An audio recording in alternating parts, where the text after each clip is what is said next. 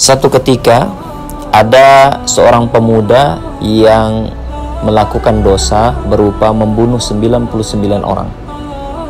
Ketika dia membunuh 99 orang, kemudian dia pun berfikir dan ingin bertobat kepada Allah Subhanahu wa taala.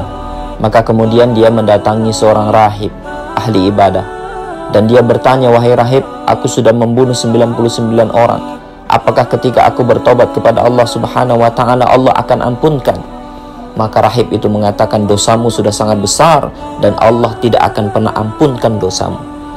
Maka kemudian pemuda itu pun marah karena dia merasa kenapa tobat saya tidak diterima? Dia ambil pisau kemudian dia bunuh rahib sehingga genaplah orang yang telah ia bunuh berjumlah 100 orang.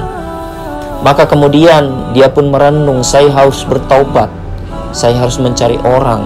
Kemudian dia menemukan ahli ilmu seorang ulama dan bertanya wahai ulama saya bertanya kepada kamu saya sudah membunuh 100 orang. Apakah dosa saya akan diampuni oleh Allah Subhanahu wa taala?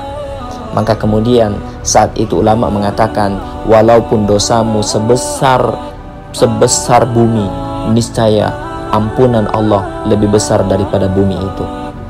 Seandainya dosamu lebih banyak daripada lautan air yang ada di lautan niscaya ampunan Allah Subhanahu wa taala lebih banyak daripada air yang ada di lautan. Seandainya dosamu lebih luas daripada luasnya langit niscaya ampunan Allah Subhanahu wa taala lebih luas daripada itu semua. Bertobatlah kepada Allah. Maka kemudian pemuda ini pun bertobat dan dia hijrah berpindah dari kampungnya menuju kampung sebelahnya Ketika dia hijrah di tengah jalan, ternyata Allah Subhanahu wa taala takdirkan dia mati. Ketika dia mati, malaikat rahmat dan laknat pun berebut. Malaikat laknat mengatakan ini adalah hamba Allah yang selalu melakukan dosa. Dia sudah membunuh seratus orang, maka kami yang paling berhak membawanya kemudian untuk mengadab dia. Kemudian malaikat rahmat pun mengatakan tidak, dia sudah bertobat kepada Allah. Saya adalah yang paling berhak untuk membawa ruhnya maka kemudian diadililah oleh Allah Subhanahu wa taala. Apa yang Allah lakukan? Allah memerintahkan kepada malaikat untuk menghitung jarak antara kampung dia dengan kampung yang akan dia datangi untuk berhijrah dan setelah bertobat.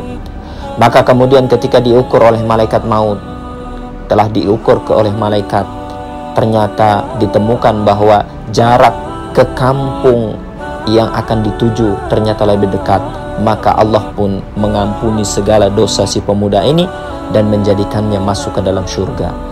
Kaum muslimin yang dimuliakan oleh Allah Subhanahu wa taala, jangan pernah putus asa. Jangan pernah kita merasa putus asa karena setiap dosa yang kita lakukan kalau kita mengangkat tangan kita dan bertobat kepada Allah, niscaya Allah akan ampunkan. Tidak ada dosa yang tidak Allah ampuni karena ampunan Allah Subhanahu wa taala sesungguhnya maha luas, sesungguhnya maha besar, maka hendaklah kita datang ke pangkuan Allah dan mohonlah ampun kepada Allah. Assalamualaikum warahmatullahi wabarakatuh.